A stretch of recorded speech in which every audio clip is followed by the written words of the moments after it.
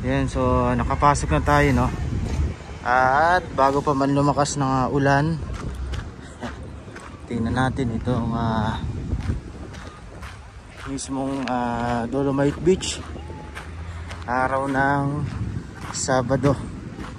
Ayan.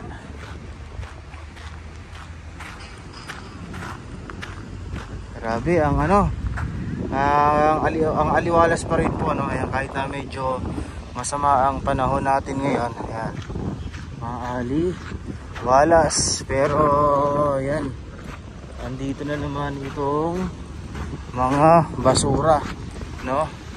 Kaninang madaling araw pa lang naglilinis na yung mga uh, Estero Rangers, no? But ayan talagang uh, Actually wala nang basura sa dagat, no? Kung mapapansin no ninyo. Ayan, wala na. Ito. Siguro dahil na rin kahapon, sobrang lakas ho ng ulan kahapon ho, no? Ay uh, grabe yung uh, lakas din siguro. Akala ko nga sobrang high tide ngayon kasi ang lakas ng uh, ulan kagabi po, no? So, ayan lang naman yung ating uh, na mas kukunti siya, no? Kumpara nitong mga nakaraang araw, no? Na talagang uh, sobrang uh, ano, dami ng uh, water hyacinth sinamahan pa ng basura no? Ayan.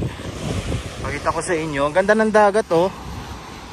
Pero ay may napapansin din pala tayo. May mga pakunti-kunting mga basura. Ano po? Ayan. Yan napakarami na namang water hyacinth no? Ayan. Ewan ko lang kung uh, dun sa part na yon sa may atingan nga natin. Sa may ah malinis dun oh. Malinis dun sa may uh, Abad, Abad Santos so sa ngayon dito naman sa may uh, Dolomite Beach uh, umaatake itong mga basura no? itong mga uh, basura at mga uh, water hyacinth. And kita nyo kahit na umuulan yung mga tao uh, tuloy at tuloy tuloy pa rin. So bali papakita ko sa inyo mga kabayan no? Yung pagbibisikleta natin along dito sa Pedro Hill hanggang dito sa top kasi kagabi talagang uh, nabalita na talagang sobrang dami ng ano no sobrang dami ng hindi sobrang uh, taas ng tubig dahil sa baha. So yun lang no at uh, umuulan na silong muna tayo. Gandang araw. Yan. Tayo o tayo uh, Manila Bay ngayon no?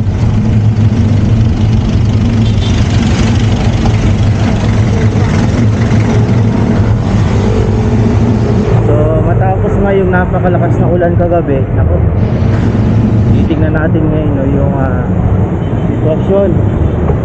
Normal lang naman yung dito sa Maynila no? Ibang part ng Maynila ko talaga eh sobrang binabaha especially dito sa Top Avenue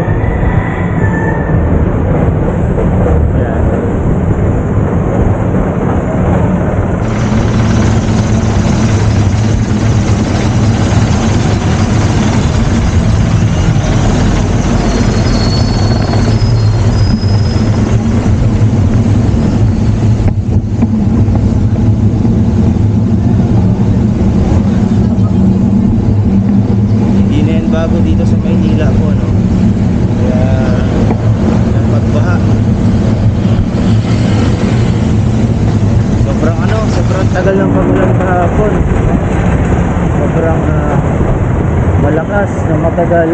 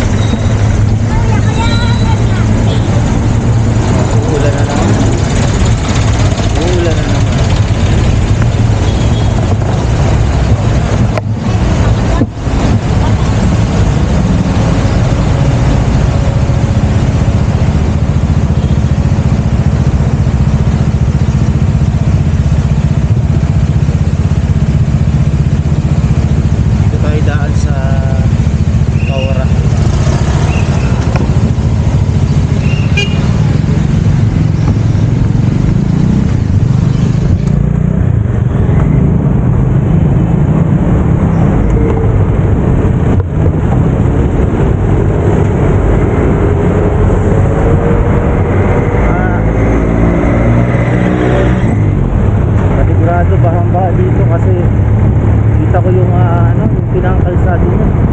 Nalubak-lubak talaga no? Yeah. ganyan kasi kapag ispalto tata.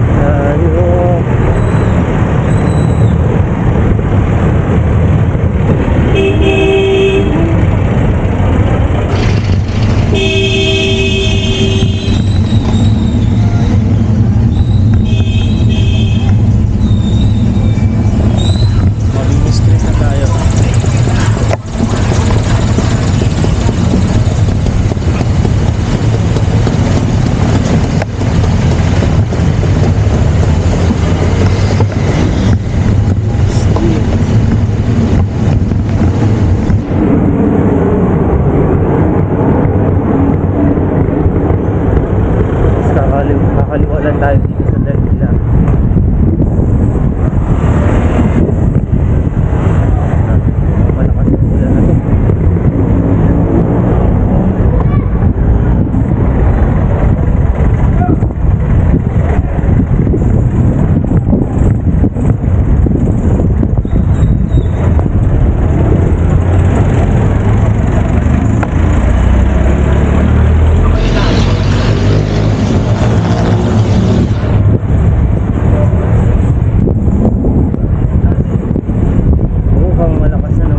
yeah.